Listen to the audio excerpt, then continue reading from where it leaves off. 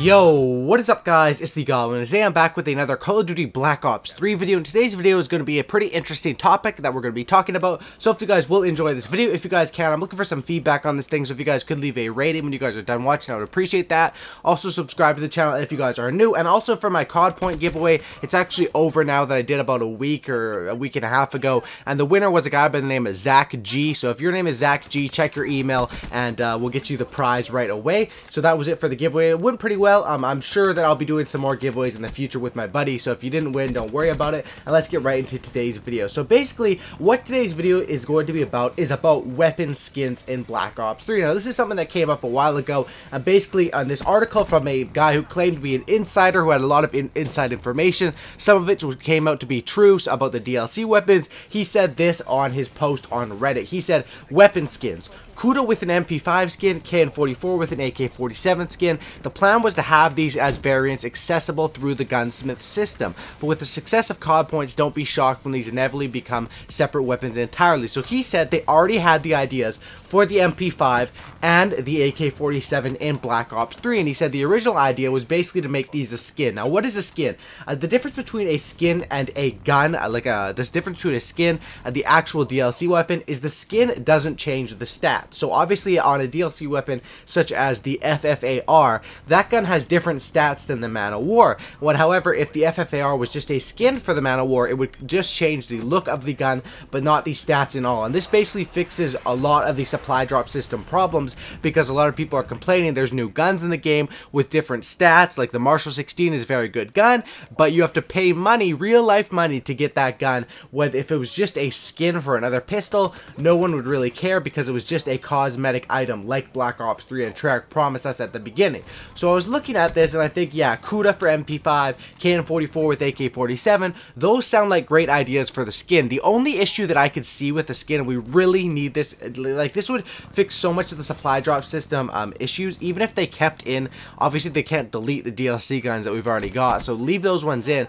and start throwing these weapon skins in, it would be insanely cool, uh, cool like, especially if some of the weapons were nostalgic, like the MP5 and AK-47, 47. So I looked through the like the only issue with with this would be if the skins had a different iron sight. You could you could say um, it was giving someone an advantage. And I know people roast me for the way I say iron, but I guess that's just the way Canadians say it, or maybe I'm just an idiot. That's the way I say iron. But if you guys, you know what I'm talking about, right? The default sight for different guns. If that was changed, like if the AK-47 had a different one than the KN-44, that could be an issue. But I'm sure they could work it so it had the exact same iron sight, and there would be no issues with that. And basically, I was looking through the list of the guns on Black Ops 3, and I was thinking, what could be done here? Obviously, the Kuda would be an MP5. The VMP could have some sort of skin like an MSMC. You know, there's definitely ways that with their design team, they could work around this. The Weevil obviously looks a lot like the P90. That could definitely be done as a skin pretty easily. Um, now, if we look at the assault rifles, there's quite a few you could do here. Obviously, the KN44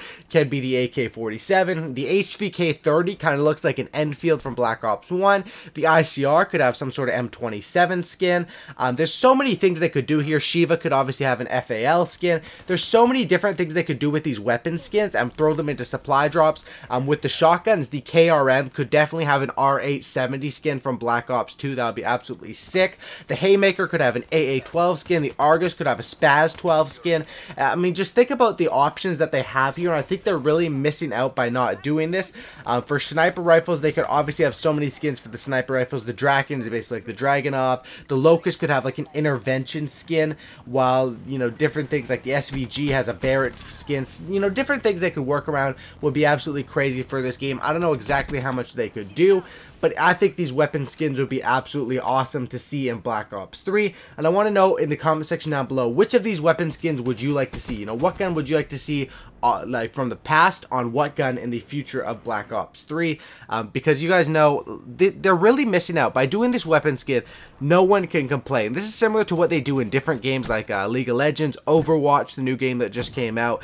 It's just a skin. You're not going to complain if someone looks different from you because they're not going to have any sort of advantage by having that skin And now the good thing about this is obviously anyone who's played Call of Duty games knows that the P90 is a freaking sick gun and they love the P90. So if that was for the Weevil, people would spend their hard-earned money on these supply drops. They'd be making probably even more than they are because right now that I think like personally the black market is pretty dead. You know, you can get weapons out of your supply drop bribes or it's really not worth wasting your money on a chance at these weapons. This would revitalize the black market. People will be spending their money and not really anyone could be complaining because it's just a skin skin. You know, it doesn't give any sort of advantage. Now, obviously, this could be something we see in Black Ops 3 in the future or in the future of Call of Duty because this definitely is a way to combat the supply drop problem because right now, you know, um, it's just weapons and you got to gamble for them. It's kind of ridiculous. But this is from a guy who said he obviously he's an insider Treyarch. He claims to be, and he had some good other information on this article. I think he predicted two of the DLC weapons,